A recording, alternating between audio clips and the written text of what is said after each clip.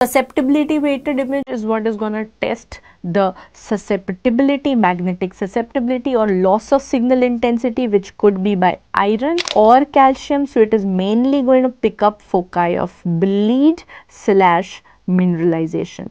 So this is where you see the loss of signal. This is the susceptibility GRE is something that you can do but most institutes do SWI. So, SWI is a more um, robust version of gradient echo if I can tell you. So, it can give you this image which is much more sensitive right. So, that is what is usually preferred. So, you see all of these foci of blooming various DDs for blooming you know would be uh, mineralization or multiple bleeds. So, in context of trauma it could be multifocal microhemorrhages like D DAI, it could be multiple septic emboli which may be seen in cases of vasculitis. You may have multifocal mineralization which could be calcified granulomas, right. So, it could be calcified granulomas or NCC neurocysticerci.